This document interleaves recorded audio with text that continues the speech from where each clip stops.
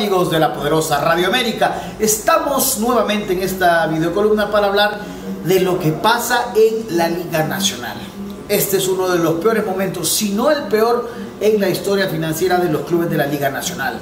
Tenemos cinco equipos quebrados, absolutamente en bancarrota, que dicen que no pueden iniciar el torneo porque no tienen 4 millones de lempiras en sus cuentas, lo cual totaliza 20.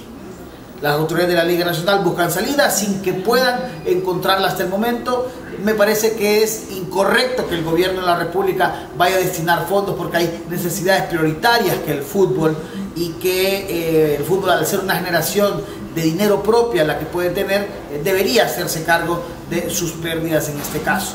Es un desastre el fútbol hondureño por donde lo veamos. Y así queremos clasificar al Mundial. ¿En serio?